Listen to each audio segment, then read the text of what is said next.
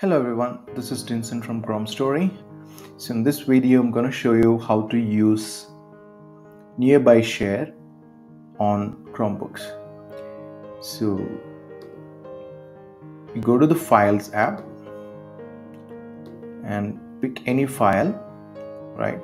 And then click the Share icon, then you see Nearby Share. So at this point, your second device where you are sending should be in receive mode with nearby enabled. So I've got my phone here ready and I'll click and select. And I've got a request to accept. That's it. I got that file on my phone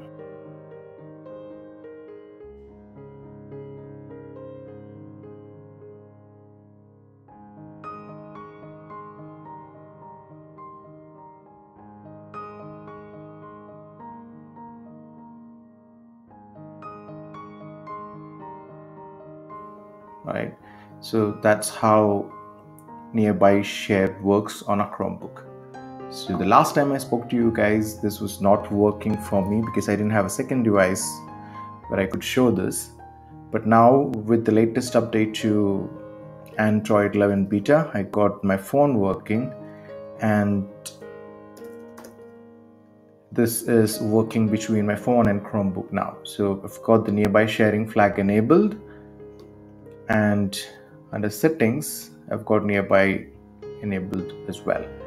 But if you enable the flag this is enabled by default. So that is first look at how to use nearby share on a Chromebook. And in case there are more developments like new future addition, feature additions to this particular airdrop like feature in Chrome OS I'll definitely get back to you guys with another video. So for now, thanks for watching and please subscribe to this channel for more Chromebook goodness. A lot coming to you guys very soon. And also look up Chrome Story on the web. Thanks for watching. Bye bye.